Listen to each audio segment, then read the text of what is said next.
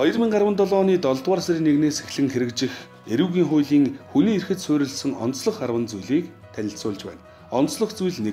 Монгол улсын үндсэн хуулийн шударга ёс, тэгш байдлын зарчмыг эрүүгийн хуулиар баталгаажуулсан. Тухайлбал торох ялыг оногдуулахдаа тооцооны нэгжийг хуульд тусгасан ханшийн өөрчлөлтөд уялдуулан тухай бүрд солих боломжтой болсон. Өөр хугацаанд ижил гэмтрэг үйлдсэн ч хугацаанаас хамааран торох ялын үзүүлэх нөлөөлөл тэгш бус байсныг засах боломжтой болсон. Онцлог зүйл 2. Хохирогч хохирлоо барагдуулах бодит боломж нэмэгдсэн. Онцлог зүйл 3. Гэмт итгээд учруулсан хохирлоо барагдуулах нь ялаас чөлөөлөх, тэнсэх, ял хөнгөрүүлэх нөхцөл болно. Өнөөдөр хохирол барагдуулалт 20-с 25% байгаа бол шинэ хууль хэрэгжиж эхэлснээр хохирол барагдуулалтыг 70% орчимд хүргэх боломжтой шоромжуулсан тогтолцоог халах боломж бүрдэнэ. Өнөөдөр жилд 2500 орчим хүнд буюу эрүүгийн хуулийн нийт гэмтэргийн 70% хорих ял оногдуулдаг. Хорих ял эдэлсэн хүмүүсийн 47% нь буцаж гэмтэрэг үйлддэг болох нь судалгааны дүн харуулж байна. Онцлог зүйл 5. Зөрчил ба гэмтэргийг заагласан. Үүний дүнд хөдөлмөрийн хөлсний дээд хэмжээ буюу 192 мянган төгрөгөөс бага хохирол учруулсан хулгайг зөрчил тооцдог бол 192 мянга нэг төгрөгнөөс дээш хохирол учруулсан бол гэмт хэрэг тооцдог буюу нэг ижил гэмт үйлдэлийг хоёр өөрөөр авч үздэг гажуу тогтолцоог хаасан.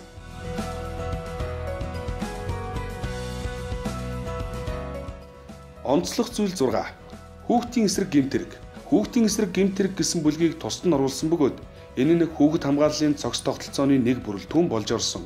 Үүний дүнд гэмт хэргийн гэрж хохирогч хүүхдийг боддоор хамгаалах боломжийг олгосон. Мөн түнчлэн хүүхдийн эсрэг зарим гэмт хэрэгт буруутай этгээд ял завшдаг байсан буруу тогтолцоог хуулиар хаасан. Онцлог зүйл 7.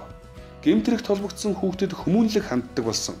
Өсвөр насны хүнд оногдуулах ялыг олон улсын хүний эрхийн эрх зүйн зарчимд нийцүүлэн тусгаж өгснөөр өсвөр насны хүний нас бие сэтгэхүйн онцлогт нийцүүлсэн ялын бодлогыг хэрэгжүүлэх бодит боломжтой болсон. Онцлог зүйл 8. Хуулийн этгээдэд ял оногдуулдаг болсон. Үндэсний аюулгүй байдал, хүрээлэн буй орчин, барилгын аюулгүй байдлын эсрэг гэмтрэгт хуулийн этгээдэд ял оногдуулах болсон нь нийтийн эрх ашиг бодитоор хамгаалагдах боломжийг олгосон. Онцлог зүйл 9 хүний хувийн орон зай халдашгүй байдалд халдах үйлдэлийг шинээр гэмт хэрэгт тооцсон.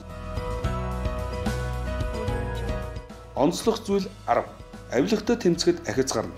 Тухайлбал хясан богдуулсны улмаас аргагүй байдалд орж хахуул өгсөн иргэний хууль ёсны эрхийг хамгаалж ялаас чөлөөлөх зарчмыг тусгасан. Үүний зэрэгцээ төрийн албан хаагч гинт баяжсан үндслээ нотолж чадахгүй бол хөрөнгө орлогыг хурааж ял шийтгэл ногдуулахаар заасан. Анхаарал тавьсанд баярлалаа.